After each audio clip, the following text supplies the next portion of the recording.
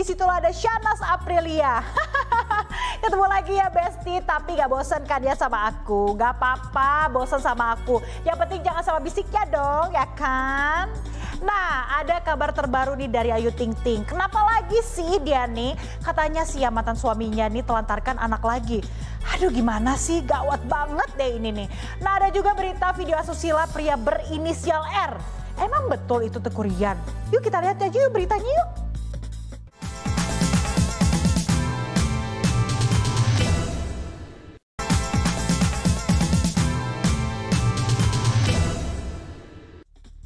Dan selanjutnya nih ada kabar mengejutkan dari Ruan Syah yang katanya menjadi korban penipuan.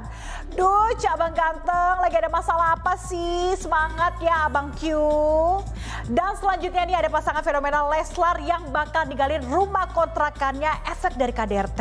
Aduh, gimana sih Besti?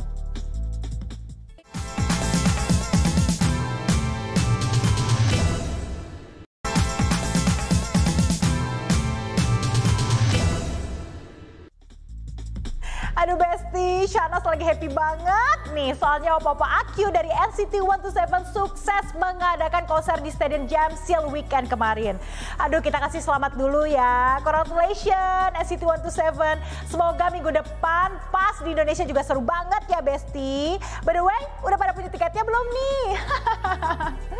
Dan juga nih selanjutnya dari dunia perfilman Korea ada 20 Century Girl yang diambil dari kisah nyata yang akhirnya masuk list top 10 movie lo Besti. Aduh hebat banget deh. Lalu juga ada berita dari Ray dan juga Liz yang akan collab dengan Lenny dengan membawakan lagu Afterlife. Gimana sih beritanya? Yuk kita simak bareng-bareng. Hmm, sebel banget deh Besti kata produser aku nih udah mau habis durasinya. Cepet banget deh kalau bisik nih Shanas yang bawain. Tapi gak apa-apa ya Besti, pokoknya selalu saksikan dan juga setia sama bisik setiap hari Senin sampai Jumat jam setengah tujuh malam. Tentunya hanya di Moji Everyday Excitement. Bye-bye.